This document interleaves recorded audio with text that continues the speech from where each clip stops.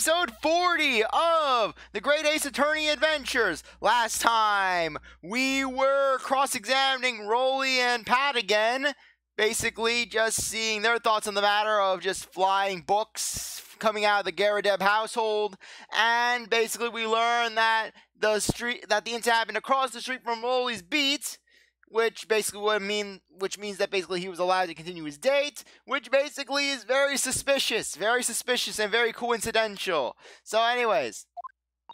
You're you're doubting us, aren't you? I can tell.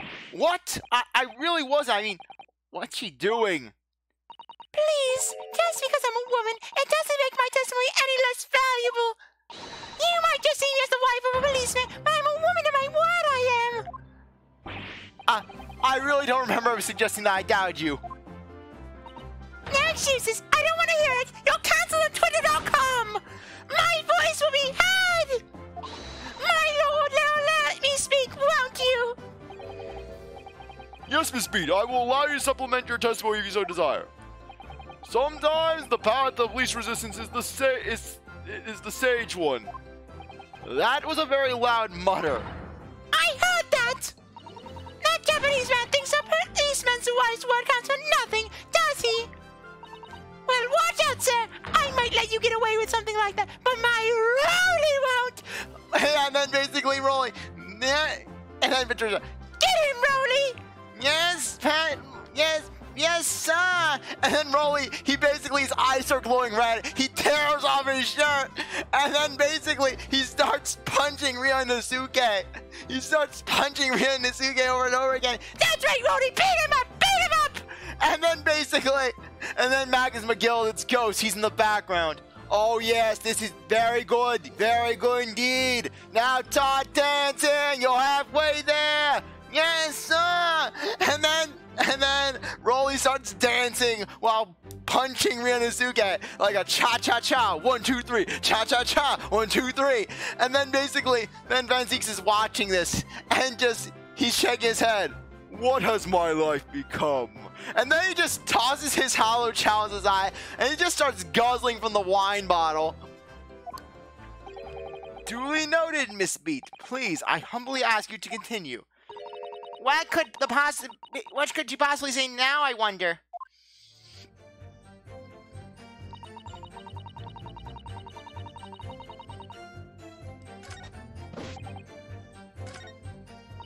Hold it! Let's press this. Miss Beat, nobody questioning what you told us. I saw what I did that evening. I saw clearly that little Eastern man with the whiskers and the funny curved back slinking away from the scene. Ah. and I know that I didn't see as well. I didn't see any flaming books or knives flying through the sky. All very clear. You, you also mentioned something about having a poor sense of direction. Oh, yes, well, that's a little embarrassing, really. I'm always ending up in the wrong place when I've made arrangements to meet Roly. He gets ever so cross. Roly's having the rage attacks. You, Pat, you won't like me when I'm angry. Excuse me. Constable Beat, is there a problem?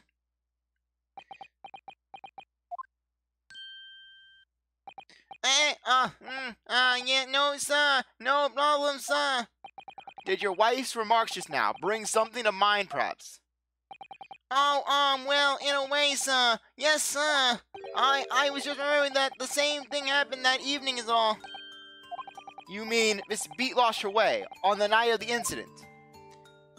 Well, you see, I sent off to find a police box in the next beat over to mine. But she was gone a bit far longer than I wish than I was expecting. I thought she'd be back inside 10 minutes, but my darling was gone a good 15. Reason I was so long was because of the bouquet, silly. The bouquet? Sorry? What bouquet are you talking about? Oh, it was a present for our wedding anniversary. Roly's so romantic. He stole it from the graveyard. He saved up for it while with bar things and bar eight pennies he found in the gutter while doing his round. Yes, how romantic. I'd forgotten all about it until just now. Had you, my darling? Ah, hmm, uh, oh yes. But that was just between us. No don't talking about anyone else, darling. You have to promise. Really? Oh. What was that all about? Console Beat looked very obviously troubled during that exchange. I'm afraid I can't offer any useful insights, Mr. Naruhodo. But I'm quite sure of one thing. We have to ask Mr. Beat, up Mr. Beat about the bouquet. Miss Beat, this bouquet you just mentioned. I'd like you to add details about it to your testimony, please. Oh, really? Yes, I'd love to.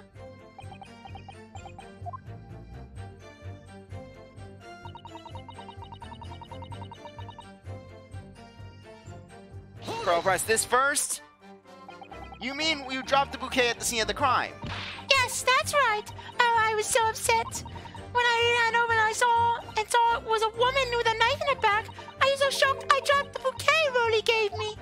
It was a dark, in a dark spot where the streetlights weren't casting any light, so I didn't notice at first. And then you went to the police box to report to the policeman whose bee it was on. Yes, and he came, and I came back to the scene together with the other constable. You see, that's when I spotted my bouquet again. But the funny thing was, when I went to pick it up, it was nowhere near the victim's body at all. In case you need reminding, Miss Beats, the victim is not deceased. I was all flustered for a moment before I heard a voice calling to me from the other side of the road. Your husband, presumably. That's right, silly me. I'd gone over to the wrong side of the street. Although I'm going to blame the bouquet this time. I can't think it how it got there. I Roly can't. So the bouquet somehow moved from one side of Briar Road to the opposite. Hmm, curious indeed. Isn't it? But the worst of it is I forgot to pick the bouquet up again when we left the scene. That beautiful rose really bought me.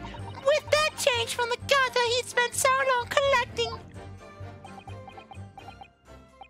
By bouquet, do you perhaps mean this sorry solitary rose? You poor pathetic cuck of a man!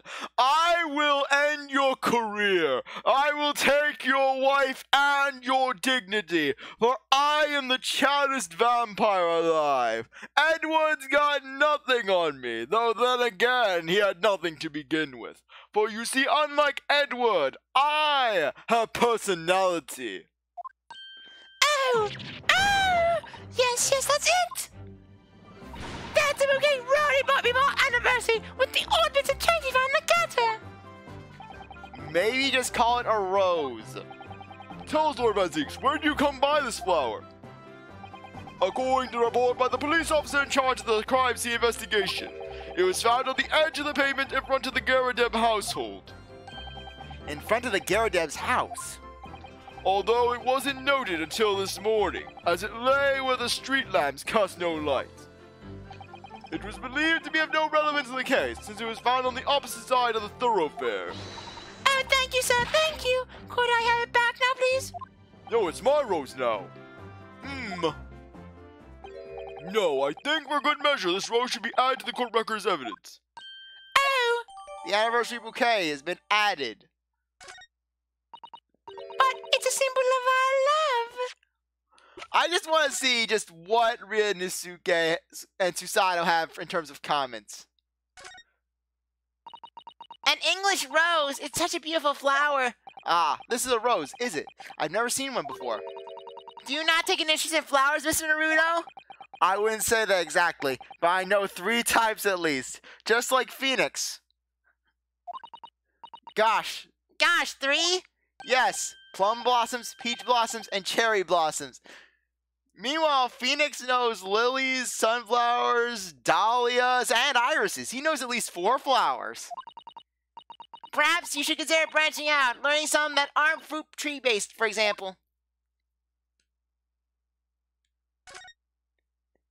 It's very stylish paper the flowers wrapped in, isn't it? It's just an old newspaper, Mr. Naruhodo. Oh, I suppose it's because I'm not used to seeing English print. It looks so exotic to me. Ah, I see. Is something wrong? Oh, no, no.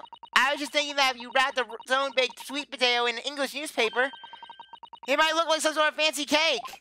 Ah, Susato san, you do love your cakes.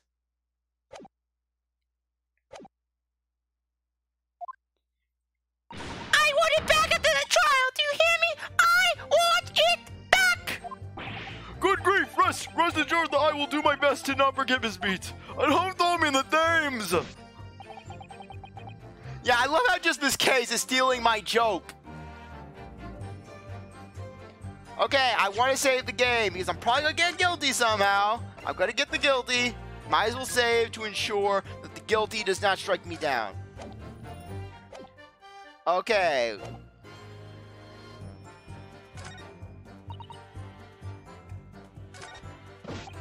Uh, no! Not again! Well, Mr. Naruhodo, what do you make of all this? Hmm, yes. The whole idea of an invisible attacker has been troubling me all along, but I believe I'm starting to get a picture of what really happened by here now. The fourth book that had no business being at the scene of the crime made sure made me sure that Mrs. Garrett was hiding something from us, but it's becoming increasingly clear that someone else has been hiding something from us as well. I think I may have already be I may already be armed with the evidence I need to do a, a decisively striking blow here. This time, it's going to expose the whole truth about this mysterious affair.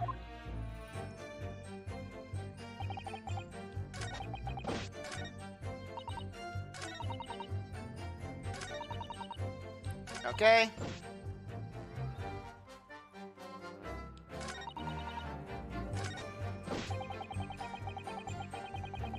Okay. Present the rose. Objection. There we go. I just I knew it was one of these two that we'd present the rose on. Your claim you claim Constable Beat that there was nothing to report in the 15 minutes 15 or so minutes you were guarding the scene and why can I not speak for the life of me? But that cannot be. What? What do you mean to say? In your testimony just now, Miss Beat, you explained to the court that when you arrived back at the scene of the crime with the policeman assigned to the beat, the bouquet you had dropped at the victim's side was no longer anywhere nearby. Objection. Yes, on the opposite side of the Briar Road to where the victim was attacked. But considering the size of that meager bouquet, if a single sorry bloom can be so described, no doubt it was blown in the wind across the street, back into the gutter where it belongs. I just love how Van Zieks is so civil, yeah, he delivers such savage burns. Really, Edgeworth has nothing on this guy. Van Zieks could give Edgeworth a run for his money. Heck, Van Zieks is is Gal is is Galarian Edgeworth. Basically, yeah, just Galarian Edgeworth. Mika? Objection. But if that were the case, why did Constable Beat not testify to the fact? No one else approached the scene and nothing was removed from it. Constable Beat swore that on Scotland Yard's honor. But the bouquet belonged to me. It has nothing to do with the case. That's that's what Roly why Roly didn't mention, I'm sure. No, because sadly, if it's not only your bouquet we're talking about here, more than one thing in this case is mysteriously the wrong way around. What are you talking about? Think about it. Besides Miss Beat's bouquet, there's Mr. Garrideb's book. Mr. Garrideb's copy of The Lion's Pride, which was thrown out the window by his wife, would have struck the pane of the casement window and landed here, on the west side of the street. And yet, it was actually found here on the opposite side of the road in the victim's hand. Meanwhile, according to the testimony we've heard, Miss B's bouquet should have been dropped here at the scene of the crime, on the east side of the street. But in fact, it was actually found here on the opposite side of the road, in front of Mr. and Mrs. Garrideb's house. There's no logical explanation for those things. Unless somebody deliberately moved them.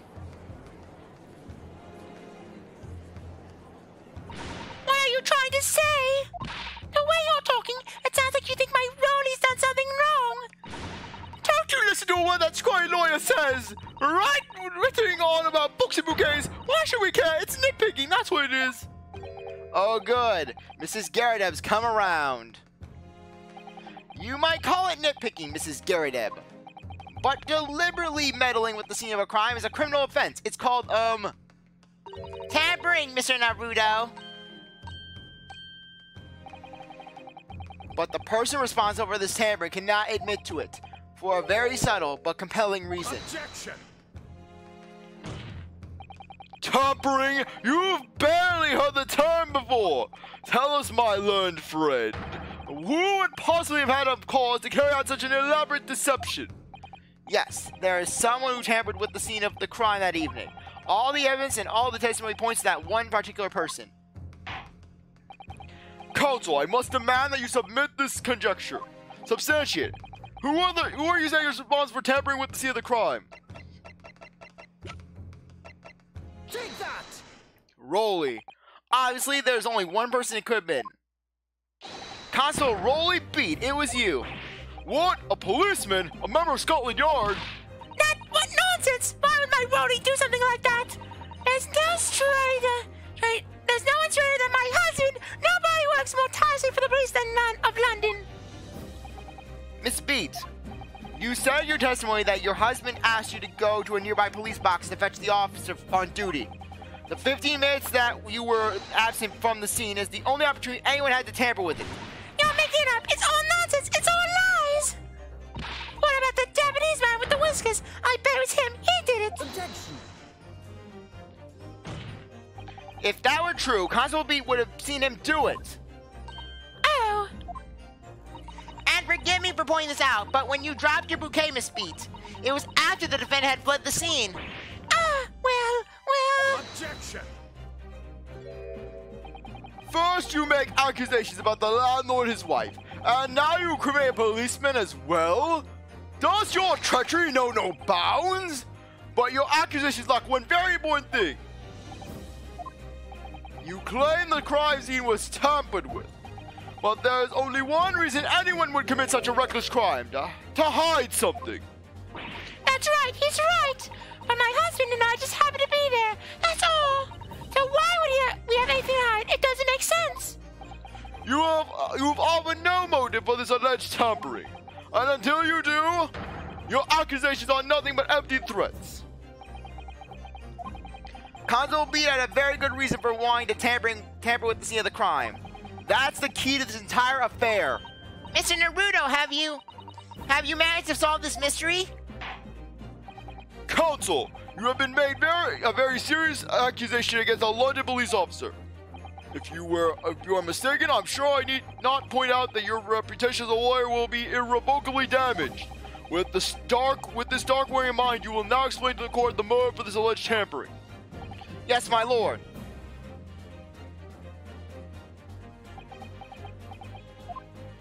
Constable Beat's motive for tampering with the crime scene was to hide where the victim fell. Where the victim fell to the ground.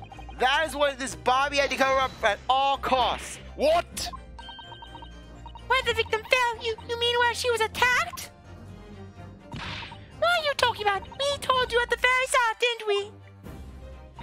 That on the pavement of Briar Road, we saw it happen, remember? Didn't already know. That's certainly well that's certainly what everyone has been led to believe. But in fact, that isn't where the victim was stabbed at all. What? What?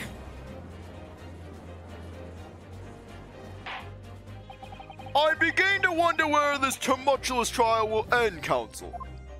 Sorry. If that's your assertion, then the court is dying to know, my Nipponese friend. Where are you proposing that the crime actually took place that evening?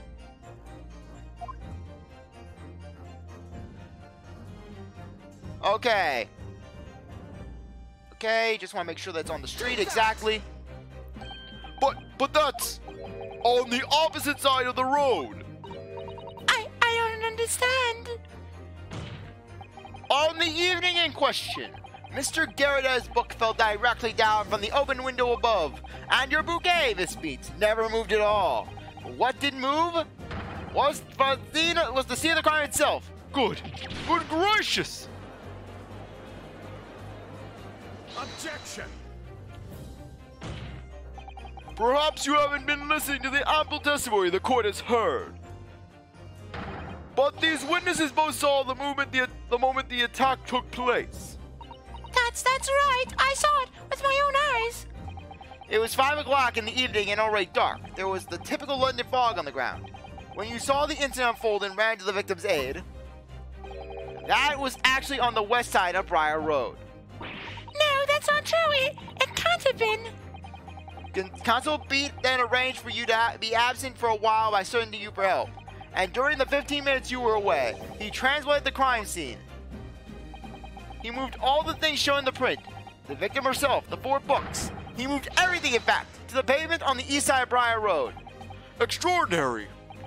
But the constable overlooked one thing What? What do you overlook? The bouquet, I presume. exactly. The prosecution told the court just a few moments ago about the discovery of the rose bouquet. Lord Renzik said it wasn't noticed until the morning as it lay where the street lamps cast no light. Yes, it couldn't have been seen in the dark, obviously. which is why it was only the bouquet that was found in its original position on the pavement on the west side of Briar Road. And that is the defense's theory about what really happened that evening. How do you respond? Constable Roly beat. I will now end you. Sleeping kitten style. Um, well, I'm very sorry. I didn't mean to nod off again, but I haven't slept properly in a month. Did I miss anything important? Oh, really? It isn't true, is it? What that lawyer said was all lies, isn't it? I know it is because you're the most upstanding, righteous man I know. I had a dream, a terrible dream. All the things I did that night, everything come out, everything exposed. Only it seems it wasn't a dream at all. Good, good golly!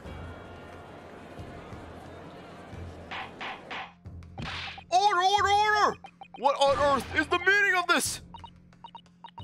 Oh, Roly, why? Why would you do something like this? I love how she's just so entranced that she basically that she's basically so enamored with him that basically she's not shocked that her husband tampered with a crime scene. He moved an, an unconscious woman's body. He lifted it over his shoulder. He dragged it across the street. That he grabbed her foot and he just dragged it across the road. Four carriages ran over, but he wasn't deterred. Moving a corpse is, is, is a criminal offense, isn't it? Wishing the victim dead should be one too. Constable, explain yourself. Why would you do this? As a respected member of Scotland Yard, your duty is to protect the good people of London Town. I I can't say so. What? I really am ever so sorry about all this. For damaging the yard's reputation, for for everything.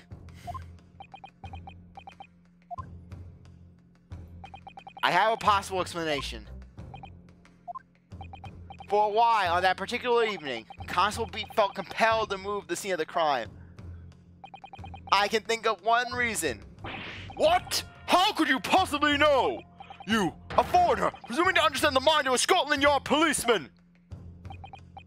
And yet, Lord Van Zieks, it is this foreigner who has uncovered the startling truth of the matter thus far. I believe it would be beneficial to the court to hear this extraordinary young lawyer's theory. Counsel, counsel for the defense, if you please. Yes, my lord. Now then, I, I, I think you had better show us some evidence. At once, my lord. England, Japan, it makes no difference where you come from. Human emotions are the same. And I think I have a fairly good idea of the, of the feelings behind this man's actions. What gives away the motive for Constable Beat's unthinkable actions? Take that! I realize I'm a foreigner in this land, and I have only just arrived from Japan, which is why all this information about London's so-called bobbies is completely new to me. I learned that, though honorable, patrolling the beat is the most demanding work in the world, for example. Keeping the peace, looking after the civili- the citizens of his beat in all kinds of ways. There's no doubt that the young Bobby is charged with a great deal to do each day, certainly. But for Constable Beat, the day in question was special. Special? How? On account of this bouquet, my lord. Oh, yes! It was our very first wedding anniversary! B had worked so hard to be able to afford this simple gift for his wife. And was looking and was so looking forward to taking her out for a celebratory meal. When he and Miss Beats stumbled upon a crime along Briar Road. When he saw the shadowy figure through the fog collapse on the pavement ahead of them. What must have been going through the man's mind? But sir, just on that particular day, I was looking forward to celebrating my wedding anniversary, and then I get these people ruining my day. Come on, man. Why is it that why is it that these people, the people of London, are freaking blue balling my ass? Miss Beat puts a up a lot with me being married to a Bobby like me. I want to show my dear wife how much I care.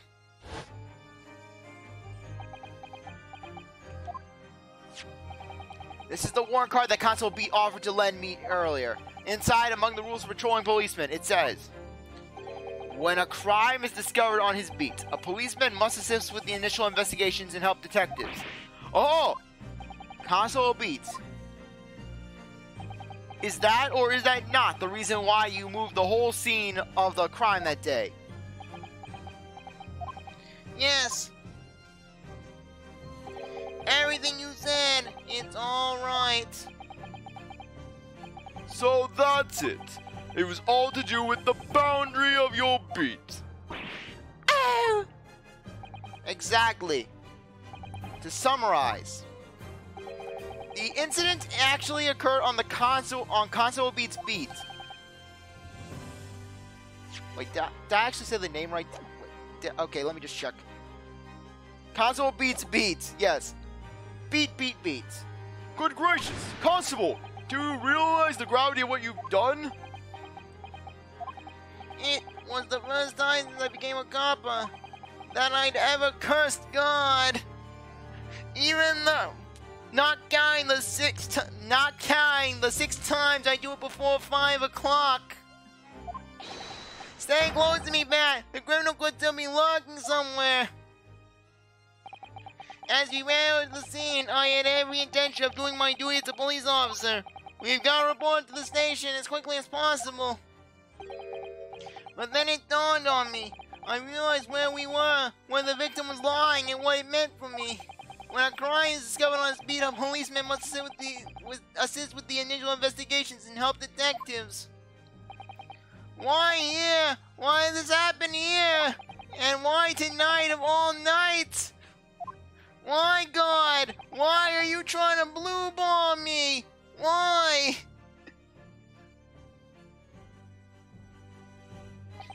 It's a cop's job to guard the the crime, zone. I Patchy I have to go to the nearest police box and fetch whoever was on duty there. It was then, when I opened my mouth to speak, it just came out. I couldn't believe the words that were coming out of my own mouth. This is this is the next beat to mine, Pat. So you'll have to go to the police box that goes it. Turn right along Michonne Street and then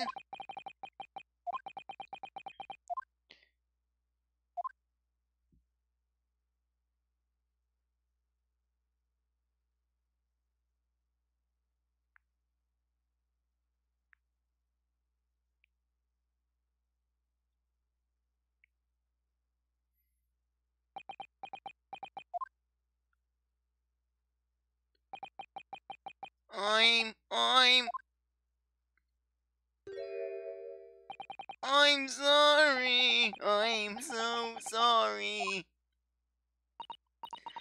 Oh, Constable! I I just wanted I wanted to get to first base, that's all. I'm very lonely on my beat. Just that one night to take my Patricia out for dinner. Oh, really? Just that one night. You knew that if the incident was on your beat, your evening of celebration would be ruined. And so you decided to move this entire crime scene outside your jurisdiction and make my life a living hell. just across the street, to the east pavement of Briar Road, which falls under the neighboring Beats care. You see, I, I thought, well, I was sure the victim was dead, you see? I beg your pardon? Oh, course he did. Otherwise, my Roly would never have just left the poor woman in the freezing cold pavement. At least not without kicking her first, or taking her wallet or her money. Ah, I see your meaning now. My God give, got me back for my sins, didn't he? That's why. That's why I missed the robes I brought for Pat. Oh no, Roly. It I should never dropped you in such a dark place. I'm so sorry, Roly. And can you tell us, Constable? How many books did you move from the one side of the road to the other in total? Hmm? Oh, um, four it was. Yes, sir. Definitely four. Three of them dropped by Mr. Natsume, and the fourth being the one that fell from the window upstairs in the Garrideb household, of course. But what made you place that book in the victim's hand? When all the others were scattered haphazardly about, I mean. Oh, well, sir, that's because that's how I found it. How you found it? What do you mean? When we first ran over to the scene, the victim was already holding the book. So, when I moved everything, I made sure it was still in her hand. You're sure it was this book, The Lion's Pride, that the victim was holding? Oh, yes, sir. No doubt about sir. Hmm, interesting. The fourth book's information has been updated. I thought it was open and an open and shut case at the time, you see. There were only the two people at the scene, and Pat and me both saw it happen. However, which way you look at it, it had to be the fellow who ran off who done it, I thought. I couldn't see the harm, really. I didn't think moving it all over moving it all over the road would make a John of difference. I I suppose this is it for me now. I've had it. My lord. Yes, Lord Van Zieks? I believe that concludes the cross-examination of the witnesses. Constable, you may withdraw. Yes, sir. Prosecutor, sir? What will become of my Roly? What will happen to him? His pay shall be dropped. They it will be dropped so low it will transcend space and time, and its impacts will be felt by the least paid detective of all time, whether they are in the future or in the past. And then all of a sudden, Gumshoe he feels this feeling. Ah! Gumshoe, Gumshoe basically falls over while cleaning Edgeworth's office. Gumshoe, what happened? Mr. Edgeworth, it's horrible. I, I felt somewhere, somewhere, I mean, somewhere in space or time or somewhere. Just a, a police officer's pay was cut so low, in rivaling mine. For now, you are free to go home. The police will contact you in due course. Please don't punish my husband. This this was all my fault. It's because I'm always moaning at her for coming home late. Leave it now, Pat. Let's go home. I'm tired. All right then, my love. One last thing, Constable. Sir, sir. Let this be a lesson to you. In a criminal investigation, every detail matters, however insignificant it may seem to you. Yes, sir. Carve that lesson to your mind. And never again make the mistake of tampering with the scene of the crime. Ah, never again, sir. You you mean to say? Leave now. This train is not yet over. Ah, um, ah. But really, I love how Barok Van Zieks, the guy who basically the game, who basically the series states is this vampire who's this, this grim, dour prosecutor who has led to the deaths of countless defendants. Basically, just he's apparently more merciful than Edgeworth because basically the a police officer that basically does a crime. A police officer commits a clear crime of tampering with a with a crime scene, and basically Van he's like, I will forgive you because he understands the situation. He takes the situation into account. Meanwhile, Edgeworth, Gumshoe so much as breathes wrong. Pay cut. yeah, really. Just go- how many pay cuts Gumshoe gets? Gumshoe gets pay cuts for even talking to Phoenix about stories of Edgeworth's investigations that aren't even related to the case. Whoever thought of a third party translating the entirety of the crime like that? Indeed, my lord. Nevertheless, there are some immu- immutable facts here. Principality, That I think now would be a good time to end the episode off. I really appreciate that you stuck around to watch this episode. You're a great viewer, and I hope you come back for the next one. Like video, like, subscribe, comment, share, do whatever you want. And with that, I'll see you next time. Bye.